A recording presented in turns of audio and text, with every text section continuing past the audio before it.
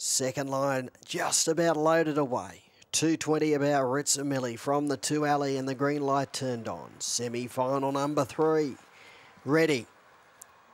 Racing, Ritza Millie nailed the jump. Velocity uh, Liberty away in a hurry is driving up underneath Millie. And Velocity Liberty led by two to Ritza Millie. They'll followed by Lochinvar Juice. Back on the inside, Zipping Cretch. A gap to My Bro Bruno, Midnight Starlet, then Nengar Cash and Viva La Bam at the tail. Velocity Liberty by two. Ritza Millie's knuckling down. Then Zipping Cretch, they corner. Velocity Liberty in the lead. Ritza Millie going on. Ritza Millie hit the lead. Ritza Millie too good over Velocity uh, Liberty or Midnight Starlet, who was hammering to the line.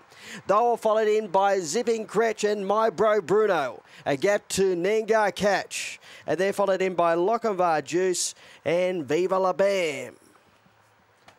Favourite too good, Ritza Millie. Two black and white, Ritza Millie first.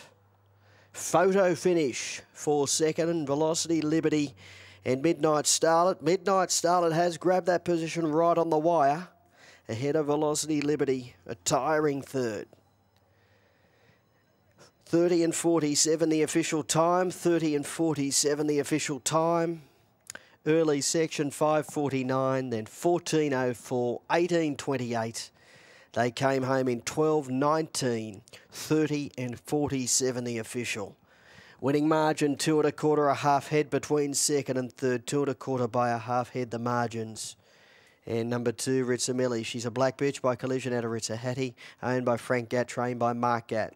Midnight Starlet second, David Pringle, and Velocity Liberty third, Robin Goodwin fourth in number three. It is two, five, one, and three confirmed following the running of the third race, all clear to follow.